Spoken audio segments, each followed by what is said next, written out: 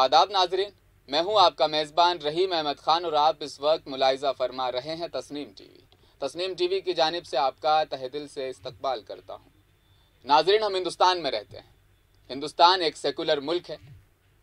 कानून ने तमाम मजाहिब को उनके मुताबिक आज़ादी दी है और तमाम हिंदुस्तानियों की पहचान एक ही है, तिरंगा, जो कि हमारा कौमी परचम भी है। गुजश्ता काफ़ी अरसे से नाजरीन, आप एक लफ्ज़ सुन रहे होंगे, हिंदू राष्ट्र। आखिर ये लफ्ज़ क्यों और किसने इस्तेमाल किया? आखिर हिंदू राष्ट्र क्या है?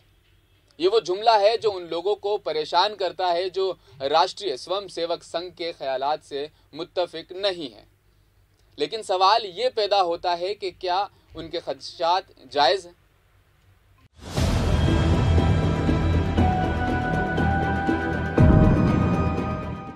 धनबाद से आरएसएस कारकुनान से खिताब करते हुए मोहन भागवत ने कहा कि हिंदुस्तान एक हिंदू कौम है और इसके लिए किसी सबूत की ज़रूरत नहीं। आरएसएस के सीनियर लीडर जब ये राग अलाप रहे थे तो इसका असर दिगर मकामात पर भी होना ज़ाहिर था।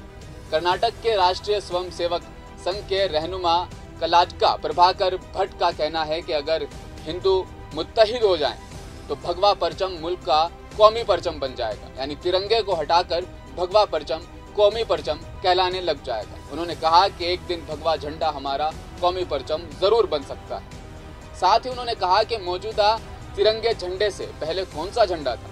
पहले बरतानवी झंडा था। हमारे मुल्क का परचम सब्ज, सितारा और चाँद हुआ करता था।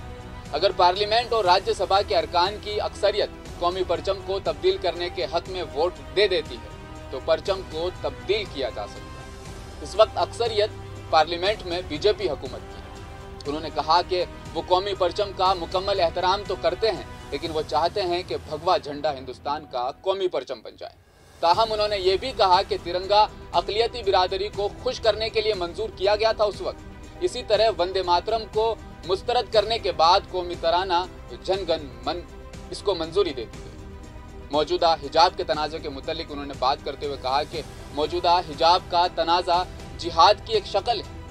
उन्होंने साफ़ तौर पर इल्ज़ाम लगाते हुए पॉपुलर फ्रंट ऑफ़ इंडिया जैसी तंजीम के मुतलिक कहा कि ये तंजीमें तलबा को किताबों से ज़्यादा हिजाब की अहमियत देने पर उकसा रही उनका कहना था कि ये अजीब बात है कि कुछ मुस्लिम लड़कियाँ हिजाब पहनने पर इसरार कर रही हैं, जबकि सानिया मिर्ज़ा और सारा अबू बकर जैसी खवतान इसके खिलाफ उन्होंने कहा कि हिजाब तनाज़ा से मुतलिक कर्नाटक हाईकोर्ट के हुक्म के खिलाफ रियासत के मुस्लिम ताजिरों की तरफ़ से दुकानें बंद रखना एक तरह की गद्दारी।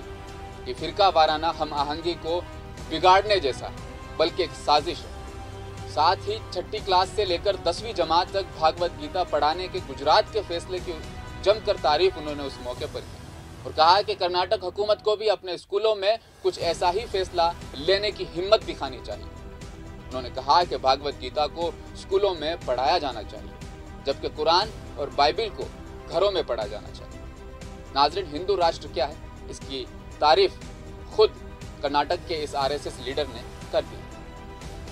नाजरीन, कभी हिजाब को लेकर हिंदू तालिब इल्म भगवा शोल पहने नज़र आ रहे हैं, कभी तिरंगे को हटाकर भगवा झंडे लहराने के वीडियो कर्नाटक से लगातार वायरल हो रहे हैं। फ़िलहाल कर्नाटक बंद के ऐलान के बाद जिन मुस्लिम दुकानदारों ने अपनी दुकानें बंद रखी थी, बाज़ार फेडरेशन ने उनकी दुकानें ही नहीं खोलने कर्नाटक में हिंदू मुसलमानों के दरमियान वैसे ही तनाज़ा चल रहा है। इस बीच नाजरीन, एक जिम्मेदार हिंदुस्तानी होने के नाते आप क्या करें? एक अच्छे भारतीय होने के नाते आप यही चाहेंगे कि यह तनाज़ा खत्म हो जाए। क्या भगवा, क्या हरा, प्यार, मोहब्बत से सब इस मुल्क में रहने लग जाए। लेकिन आरएसएस के कल्लड़ का प्रभाकर भट्ट ने तो एकदम से पासा ही पलट उन्होंने आन बान शान तिरंगे का सम्मान एक झटके में छीन लिया। तिरंगे को बदलकर भगवा झंडा इस मुल्क का कौमी परचम बन जाए, उन्होंने ऐसा कह दिया। नाजिन आखिर यह मुल्क किस सिमत में जा रहा है? आज़ादी की इस शाम के लिए जवानों ने दी कुर्बानी हिंदुस्तान के लिए। सर झुकाकर सलाम करे इस तिरंगे को, इसके लिए ना कोई हिंदू है, ना मुसलमान तिरंगा हर भारतीय का सम्मान, इज़्ज़त है। तीन रंग से रंगा तिरंगा हम सब की पहचान तीन रंगों से रंगा तिरंगा आखिर कब भगवा हो जाए किसी को नहीं पता क्योंकि अक्सरियत पार्लियामेंट में बीजेपी की क्योंकि जिस तरह रात क्योंकि जिस तरह रात आठ बजे अचानक नोटबंदी थमा दी गई उसी तरह से कब कौमी परचम तब्दील कर दिया जाए ये कोई नहीं जानता ಗೌರವ ಕೊಡೋಣ ಅದು ಇವತ್ತು ರಾಷ್ಟ್ರಧ್ವಜ ಅಂತ ಇದೆ ಅದಕ್ಕೆ ಗೌರವ ಕೊಡೋಣ ಅದು ಅದರ ಪ್ರಶ್ನೆ ಇಲ್ಲ ಮೊನ್ನೆ ಬಾರಿ ಗಲಾಟೆ ಆಯ್ತು, ಕೇಸರಿ ಹಾಗೆ ಅಂತ. ಯಾರಿಗೊತ್ತು ಒಂದಲ್ಲ ಒಂದು ದಿವಸ ಕೇಸರಿ ಧ್ವಜ ನಮ್ಮ ರಾಷ್ಟ್ರಧ್ವಜ ಆಗಬಹುದು. ಯಾಕೆಂತ ಸ್ಪಷ್ಟೀಕರಣ ಕೊಡ್ತೇನೆ?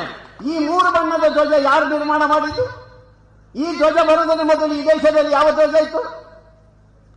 ಬ್ರಿಟಿಷರ ಧ್ವಜ ಇತ್ತು ಇಲ್ಲಿ ಬ್ರಿಟಿಷರು ಬರೋದಕ್ಕಿಂತ ಮೊದಲು ಯಾರ ಧ್ವಜ ಇತ್ತು? ಹಸಿರು ನಕ್ಷತ್ರ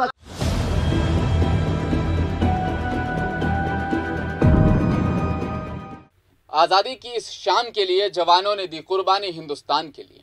सर झुकाकर सलाम करे इस तिरंगे को, इसके लिए ना कोई हिंदू है, ना मुसलमान है। ये तिरंगा हर भारतीय का सम्मान है, उनकी इज़्ज़त है।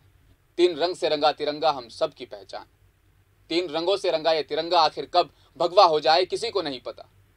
क्योंकि जिस तरह रात आठ बजे अचानक नोटबंदी थमा दी गई, उसी तरह से अब कौमी परचम तब्दील कर दिया जाए, कोई नहीं जानता। नाजरीन, आज की इस किस्त में फ़िलहाल इतना ही। मुझे दीजिए इजाज़त, आप देखते रहिए तस्नीम टीवी।